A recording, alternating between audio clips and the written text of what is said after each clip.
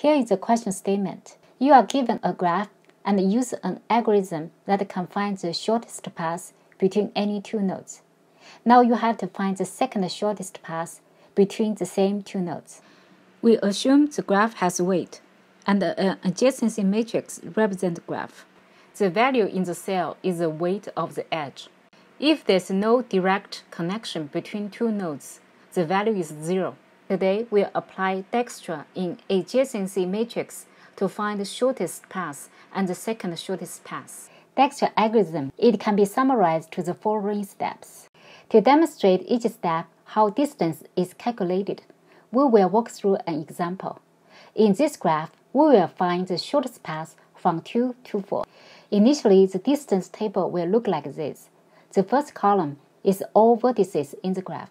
The second column is the smallest distance from vertex 2 to this vertex. The value is 0 to itself. Others are max value at the beginning.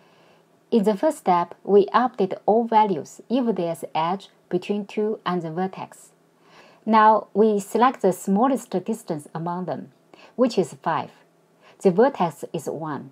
The next step will use vertex 1 to reach other vertices. After execution, we can update the table to the new values. We update the third column with 1 if we can get a smaller value through vertex 1 to that vertex. Since all vertices have been reached, we can conclude the result. From source vertex 2 to destination 4, the shortest distance is 6. To find the second shortest distance, the idea is to remove each edge in the shortest path. Call Dijkstra again the smallest value will be the second shortest distance. It is 8 in our case. Now let's look at the code. At the top, we define class variables. Next is a function that implements Dijkstra.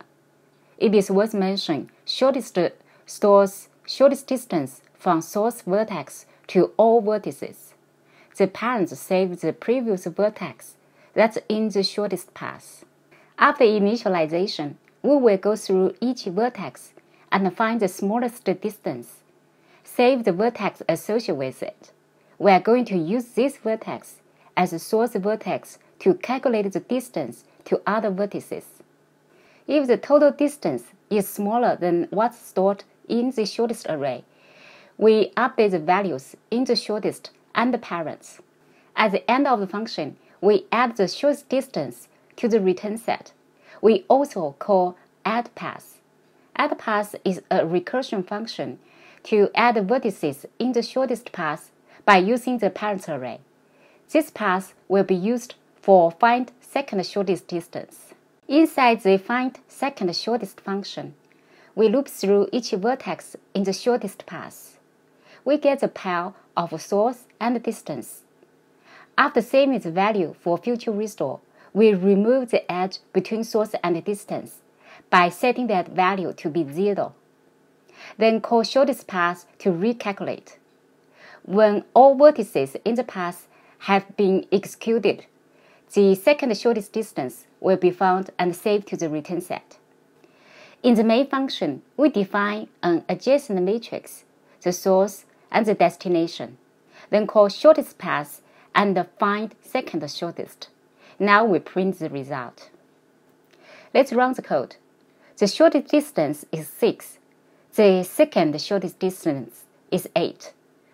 From the previous walkthrough, we know it is correct.